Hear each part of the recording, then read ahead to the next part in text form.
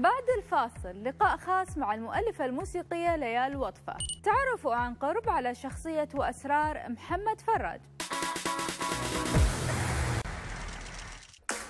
ليال وطفة مؤلفة موسيقية سورية بدت رحلتها مع عالم الموسيقى منذ أن كانت في الرابعة عشر من عمرها. درست آلة البيانو وعملت كمؤدية صوتية في البرامج التلفزيونية والعروض الفنية. بدأت تأليف الموسيقى التصويرية للسينما والتلفزيون فألفت الموسيقى لأفلام ومسلسلات.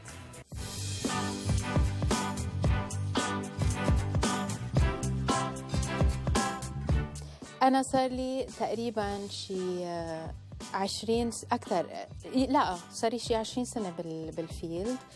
أه بدأت أول شيء فتت بال voice over مجال ال voice over والغنى للإعلانات.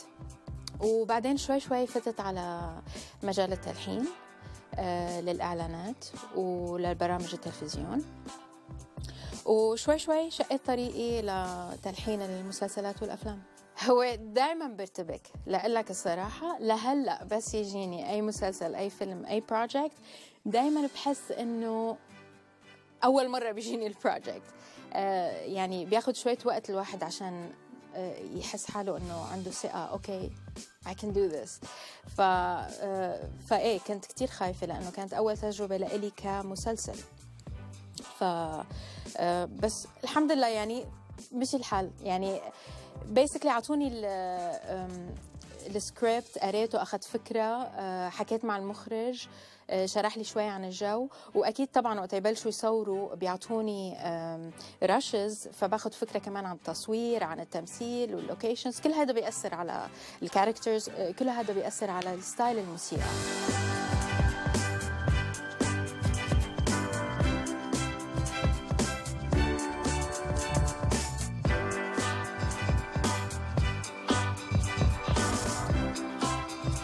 الطريقة اللي اللي صار الموضوع إنه كلمني آه ال producer صبري السماك آه وقال لي بتحبي تشتغلي مع أستاذة هالة خليل؟ قلت له طبعا بيكون شرف لإلي. آه فبعتوا لي آه مشهد. أستاذة هالة يعني بعثت لي مشهد واحد اللي هو نوارة وهي ماشية بالمي. وقالت لي لو سمحتي please تعملي لي موسيقى آه قطعة لهذا المشهد. كتجربة كمان. تتشوف إذا بقدر حس بالموضوع. فعملت لها الموسيقى وعجبها كتير. واكشلي التراك هو نفسه اللي عملته أول شيء هو نفسه اللي بقي على المشهد نفس الشيء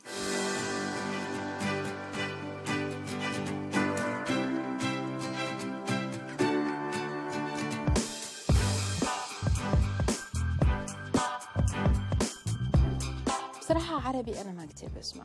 تكون تكون صريحة معك. آه بس إنه بسمع كتير موسيقى أفلام آه إن كانت إذا كانت عربية ومهمة بسمعها. رايت ناو عم بحضر لمسلسل اسمه باب الريح آه للمخرج علي العلي آه مسلسل بحريني لرمضان. آه وهلأ تقريبا باقي لنا شي أسبوعين شغل إن شاء الله وبنخلص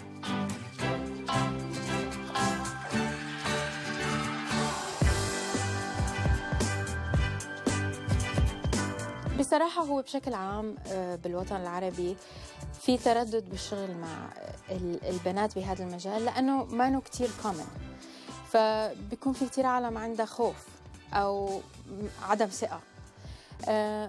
حسيته شوي بس بصراحة كل المخرجين اللي اشتغلوا معي كان عندهم ثقة تامة إنه أنا بقدر أعطيهم اللي هن بدهم إياه ما بحب كتير لا أحكي عن شغلي أو عن حالي أو أنا اللي روح عند العالم. يعني أنا برأيي دائما إنه شغلي لازم يحكي عني. ف فدايما بتمنى إنه مثلا ممكن حدا يسمع شغلي يعجبه يجي لعندي. أه بصراحة يعني ما ما عندي أسامي معينة ممكن إنه فكر فيها بس أه يعني إن شاء الله إن شاء الله المخرجين إذا شافوا شغلي. وحبوا ويثقوا فيني إنه إن شاء الله يجوا لعندي